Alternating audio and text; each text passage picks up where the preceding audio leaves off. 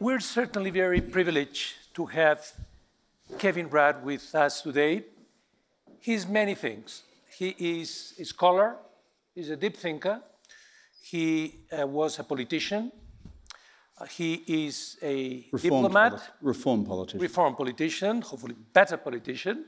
He's a diplomat and also he's a linguist. He has been twice prime minister in Australia. He is uh, currently the uh, president and CEO of the Asia Society, and he's going to Washington in a couple of months to become the Australian ambassador to the United States at a particularly exciting time uh, in the world. Uh, and he's also a prolific author, and he has written a marvelous book about the relations between the United States and China that I would recommend you to read because I'm in the midst of reading it, which is called The Avoidable War. And I think that's something which is really very, very useful to understand what may be going on. So, Kevin, thanks very much for being with us today. It's good to be in church with you, my friend. Wonderful. Okay. Free evangelical church. So um, we're going to evangelize trade, are we? Okay. So may globalization be with you. Okay. Good. So let me start shooting some questions. Um, and the first one is about wh- where are we nowadays in terms of uh, globalization? Are we seeing how pessimistic or optimistic should we be? Are we seeing that globalization is is backtracking, or is it just evolving? There are some people who think that globalization is, is condemned to death, and there are others who think that it's just changing, changing shape. What are your views on that? I think it's changing shape, and that's because the fundamental drivers of globalization remain, which is that international ec- economic activity and national economic wealth increases the more that there is trade and the more that there is international financial engagement. Uh, and that is not just a piece of theory, that's a, the, the lived experience of the world community for some decades now. Now, of course, the reaction to that, as we all know from um, society and from politics, is uh, how do you deal with winners and losers in that process, both within local communities and nationally? And I think what we're now seeing is a readjustment of politics to deal with how do you more effectively deal with those who, um, as it were, are disadvantaged on the process on the way through. I do think we'll end up at an equilibrium, uh, which is perhaps not full blown neoliberal globalization, uh, the one which was uh, launched with great fanfare in the 1980s, 90s, uh, and into the first decade of this century, culminating in the global financial crisis which ultimately became something of a report card on untrammeled globalization, to something which I would now characterize perhaps as an evolving form of social democratic globalization, where you have some conditionalities about the poor, conditionalities about those who have to transition in work, uh, and those countries uh, which are finding it uh, difficult in the process as well. So I'm in the latter category, which is it's an evolution of the globalization project. Okay, and I very much agree with that. So the reports of the death of globalization are grossly exaggerated. They're the same as Mark Twain. Exactly. Who said the same after he'd read his obituary in the, exactly. one of the American papers. Wonderful. Um, now let me go a little bit deeper into the issue. And we're seeing a lot of uh, discussion around global supply chains and there are things that are happening. We hear about onshoring, reshoring, um, friendshoring, but also uh, there is the possibility of international diversification of global supply chains in order to achieve resilience. Mm. So I wanted to get your views on what, what, what, what do you think it's, it's happening and um, where is this going to lead us? Well, this all became dramatic for the international community in 2020, 2021 uh, with, the, with the unfolding pandemic. And suddenly, various national jurisdictions around the world found it very difficult to manage the supply of PPE, uh, the supply of basic pharmaceuticals, etc. Um, and so, as a consequence, it generated in many of our countries and societies national debates about the need for, quote, various forms of national resilience and national self sufficiency um, certainly in terms of how you wrestled with a pandemic. And that then genericized into a broader debate about national self sufficiency. Uh, at one extreme of that argument, you see the national self sufficiency argument writ large uh, in the People's Republic of China, where the national discourse within China is increasingly in the direction of national self sufficiency. Uh, other countries are seeking a more diverse approach. So, where does the balance lie with this and the evolution of the globalization project?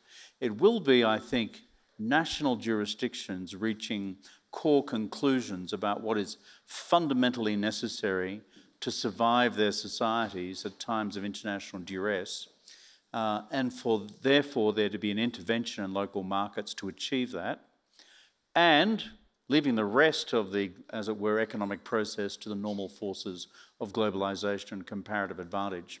I think that's where we're up to. So you are going to see, therefore, uh, nationally driven supply chain uh, adjustments. Um, and the real uh, complexity will lie in the definition between the essential and the non essential mm -hmm. in surviving societies during times of duress. Okay, thank you very much. Now, let me come back to something which is critical to understand the future of globalization, which has to do with the relations between the United States and China, an area where you have uh, very uh, insightful uh, thoughts. Um, how do you see this relationship going forward? And what, do you, what, what would you recommend to international companies, global companies, like the ones here present in Davos, which do business both in the United States and in Asia and in China, in terms of how to best navigate the challenges coming from this difficult relationship, but also take advantages of the opportunities that may emanate from it? Well, it's a bit analogous to the uh, debate we've just uh, referred to on globalization more generally. Um, the pessimists in the, uh, in the room would say globalization is dead. Neither you or I agree with that proposition. The pessimists in the room would also say that we're now in a process of unfolding Cold War between China and the United States, which will inevitably lead to total economic decoupling. That again doesn't reflect reality. Uh, it's a much more complex reality than that. If there is a decoupling which is likely to unfold, it will be in certain defined areas of tech. Uh, of course, leading that charge is semiconductors, question mark uh, uh where we go to with quantum computing, question mark where we go to with artificial intelligence. Uh, but that is quite different from a genericized reality which says we're going to have total decoupling between the world's largest and second largest economies. I cannot see that happening. So, where do multinational corporations fit within this? Um, I think if you're in the tech space, and particular sectors of the tech space, then it will be a question of being very diligent and careful about navigating your business case in terms of whether you're likely to fall foul of either A, China's national self sufficiency guidelines for its own technologies uh, against its own ind industrial plans, or B, the emerging national security driven technology export bans to China from the United States, already starting with categories of uh, semiconductors. If you can navigate that, then I think you still have an opportunity to run global businesses. But beyond those particular narrow areas of tech, uh, and I don't diminish their significance, there is still no compelling argument that these two economies are destined to split.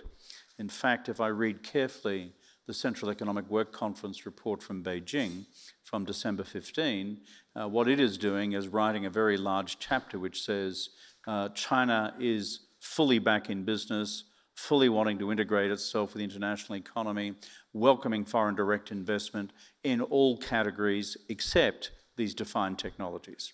So firms will have to become literate about where, frankly, the parameters lie. But if they can navigate those parameters, then there's no reason why they can't prosecute a business involving both US, Chinese, and European markets. Yeah. And I think that in addition to what the political actors may do, I think that global companies, we also have a constructive role to play in terms of establishing bridges and connection points between our clients, you know, in the United States, in Europe, in other parts of the world, and in China, so that, you know, by doing our business in a professional manner, we can basically help them and help uh, both parts of the equation, both the advanced economies and emerging markets, which are there. So thank you very much for that. Um, as president and CEO of the Asia Society, I wanted to talk a little bit about other countries in, in, in Asia. And there is another very large country in uh, Asia, which is, uh, which is India. Hmm. And um, India is large. It's uh, you know, growing quite significantly at present, and good expectations also going forward. And I wanted to ask you about the role that you see uh, uh, for India in terms of the geoeconomics and the geopolitics of Asia and beyond. My own judgment is that uh, India, under Prime Minister Modi, has decided to uh, fundamentally internationalize the Indian economy. And there's been enormous domestic resistance to this project for many decades. Uh, for example, when I was Prime Minister, I, man, I remember launching a free trade negotiation between India and Australia. It took more than 10 years to conclude and was only concluded recently um, uh, under Prime Minister Modi. But now you see the Indian government engaging in FTA negotiations with the Canadians, with the Brits, with the European Union, and with others, which a decade ago was simply not conceivable in the Indian body politic, which was quite closed and quite protectionist. So the Modi administration has concluded that having lost out to the economic race with China over the last 20 years, when China surged ahead, is now looking at this carefully and saying India's time has come, and looking therefore to the role of international capital, international markets, and domestic economic reform to turbocharge the Indian economy into much higher levels of growth. And so far, you see the early signs of some success of that. I think the last thing to say about that is that New Delhi is deeply mindful of the opportunity also which its hosting of the G20 this year offers it to rebrand itself in the eyes of the world, my words, not theirs, as the next China, mm-hmm. um, but particularly to say to the rest of the world, we in India don't present a geopolitical challenge for you, and therefore we could become reliable sources of supply to global supply chains in the future, in whatever categories of manufacture. And secondly, to also say to the world economy, we're also greening. And there's a huge project which Modi is leading into the G20 summit at the end of this year about the green transformation of the, of the uh, Indian uh, energy system, mm-hmm. uh, relying upon not just solar, but the future of green hydrogen as well. Yeah, terrific. Let me now uh, turn to China, the other sort of uh, very large economy in Asia, one of the two largest economies in the world. And now, you know, China has been going through certain difficulties. Now it's experiencing a, uh, experiencing a COVID wave, but hopefully that will be over soon. And here in Davos, the, you know, in the air, there is the idea that, and I think it's a founded, well-founded idea that China's recovery would be very strong in the second half of the year, and that would be good for the global economy. But beyond the short term, looking at the medium term and taking into account all the geoeconomic and geopolitical factors, how do you see the role of China in the global economy? Well, by definition, China's economy is huge. And the real question is whether it grows in the future at 3 or 4% or 5 or 6% uh, per annum. At this stage of its economic development, it should be 5 or 6. Uh, but for some years now, it's been slowing, and it's um, uh, quite independent of the COVID dynamic and the COVID phenomenon. So the real challenge in Beijing is will they have all the policy settings in place in order to maximize growth back to around 6? Uh, for example, exiting from zero COVID it's been an untidy process, uh, zero notification to the public health system in China, um, a large number of deaths among old people right now. Um, but by the second quarter, assuming no further adverse variation to the virus, Omicron, then the, the projection internally is that by second quarter you'll start to see robust economic growth numbers again and acceptable levels of casualties, though being a Communist Party state, they're not going to publicise how many people actually died. Second thing, though, is ideologically, the Chinese Communist Party for the last five years has sent out a range of negative signals to the Chinese private sector. Uh, the property sector, the tech sector, beyond that, private enterprise more generally, a common prosperity agenda uh, about uh, mandatory wealth redistribution, etc. But what I've seen in the Central Economic Work Conference at the end of last year is them again seeking to signal quite dramatically a return more to the market with a series of quite deep changes. The question for the Chinese private sector, which represents 60% of GDP, is will they believe these changes and reinvest? Will they see the possibility of an ideological return to a more statist approach to the economy again? So that's a big question mark. And the third one affecting China's growth performance is the role of net exports in China's growth. Partly that will depend on whether the global economy recovers and whether there are going to be robust markets abroad for Chinese goods and services. So that's a question mark as well. But I think you're going to see a post-COVID boost to growth in 23, uh, question mark about the policy shifts that have occurred, but you will see some contribution from property and tech and recovering consumer demand, question mark net exports. But if you were to look at 23 and beyond, 5.5% growth is the projection for this coming year. I think that's reasonable. Uh, and given where the world is, that would represent some two thirds of global growth mm -hmm. for 2023, which is no small thing. Right, great. Okay, I think that's, that's terrific. Thanks very much for sharing your views with us. I share your uh, positive outlook for uh, China and India, that having these two big emerging market economies being important drivers of growth in Asia and the world, I think that would be uh, very important for everybody over the next uh, you know, few years and perhaps beyond that. So thanks very much. It was a pleasure.